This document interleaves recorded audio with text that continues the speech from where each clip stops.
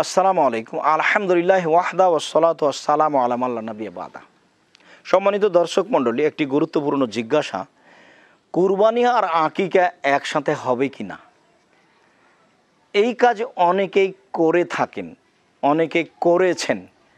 যে ছেলেমেয়ের আঁকিকা দেওয়া হয়নি, কুরবানির সময় এসেছে, অতএব একটা গরু কিনে ছেলে মেয়ে যে একটা জন্ম নিয়েছে, ওদের নামে আঁকিকা করে দিই সাত ভাগ হিসাবে। এবং বাকিটা আমরা নিজেরা খাব বলে কুরবানি করি। সম্মানিত দর্শক মণ্ডলী, আপনারা মনে রাখবেন, কুরবানি এবং আকিকা এই দুইটার সাথে কোনো সম্পর্ক নেই। সম্মানিত দর্শক মণ্ডলী, আকিকা হচ্ছে পিতার জিম্মেদারি, যা বাচ্চার জন্মের সপ্তম দিনে করতে হয়। আর কুরবানি হচ্ছে একটি নেকির কাজ।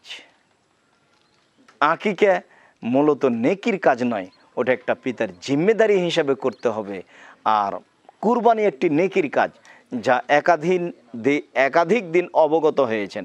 আল্লাহ তালা বলেন, লাইয়ানাল্লাহ লহমোহ ওয়ালা দিমা ওহা ওয়ালা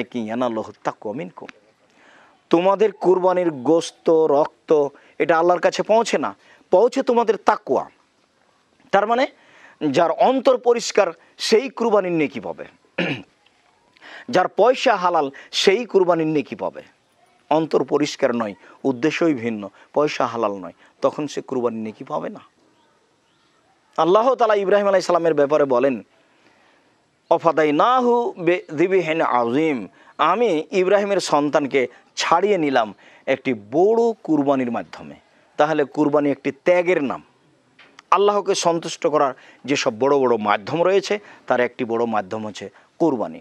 কুরবানি শব্দটাই কোরব থেকে নির্গত, যার অর্থ হচ্ছে নৈকট্য হাসিল করা। আল্লাহ তালার নৈকট্য অর্জন করা। আল্লাহ তালার সন্তুষ্টি অর্জন করা। তাহলে কুরবানি এবং আঁকিকে দুই জিনিস, দুইটাকে একসাথে করা যায় না। এটা একটা প্রথা চলে আসছে। সম্মানিত দর্শক মণ্ডলী এই প্রথা থেকে জরুরিভাবে আমাদেরকে বিরত থাকতে হবে।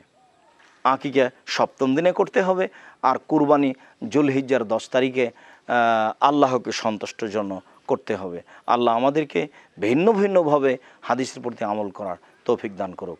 আল্লাহ আলম বিশ্বব ওসল্লাহ আল্লাহ নবী ওসাল্লাম আসসালাম